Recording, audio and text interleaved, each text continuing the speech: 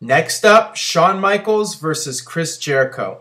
This was um, one of the best feuds in recent WWE history. Uh, you look back at 2008.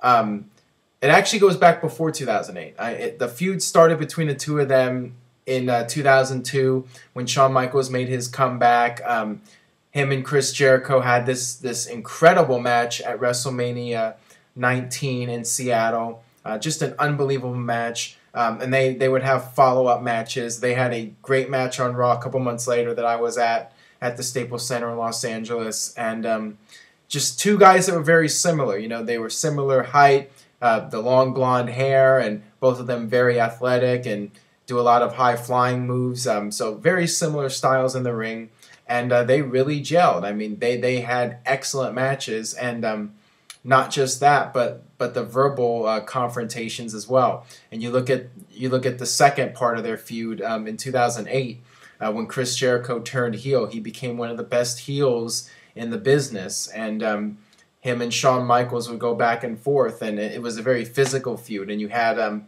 you had Chris Jericho accidentally punch Shawn Michaels' wife at the SummerSlam pay per view, and things like Jericho uh, throwing Shawn Michaels into the Jeritron.